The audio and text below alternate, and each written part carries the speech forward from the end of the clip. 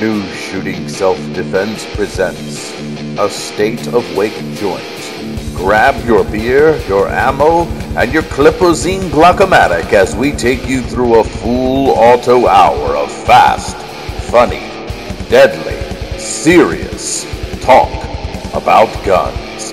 If you cry when someone draws a picture of a gun on a piece of paper in front of you, you best stay away because you are about to enter a gun filled zone. And now, ladies and gentlemen, full auto with Dmitri and Paul. I got my gangster guy here, yo. What up, cuz? Break yourself, break yourself, break yourself.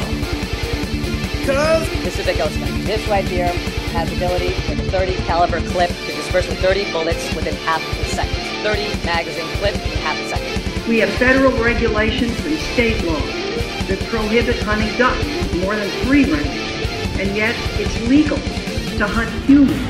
say hello to my little friend. Australia just said, well, that's it. We're, we're not doing, we're not do- seeing that again, and imposed very severe, tough uh, gun laws, and they've never, they haven't had a mass shooting since. You know, semi-automatic weapons are not just about gun control. This is about national security. You know that these weapons can shoot down airplanes.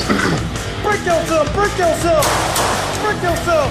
The big difference between an assault rifle and a hunting rifle is, frankly, the scope that one puts on it, and scopes can be purchased online. I want to see people disarmed. I want people disarmed in major, major cities. How's that for a plan?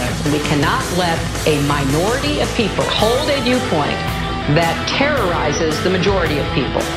Could have been done on spur of the moment with a hunting rifle, um, very easily, as long as it was a double shot weapon. They could they could easily do it with something that you could purchase at a grocery store. Say hello to my little friend. I think The Second Amendment is in the Constitution so that we can have muskets when uh, the British people come over in 1800. I know what you're thinking. Did he fire six shots or only five? You've got to ask yourself one question. Do I feel like it? Well, do you, punk? Break yourself. Full auto is intended for purely entertainment purposes in relation to any actual person, living or dead, is purely coincidental. We are not responsible for the results that might befall you should you ever actually take our advice about anything. Full Auto is a Bipcot no belt licensed show. This means you are free to reuse this content any way you see fit, so long as you are not a representative or advocate of government. For more information, go to Bipcot.org. And now, without further delay, here are your hosts, Dmitri and Paul.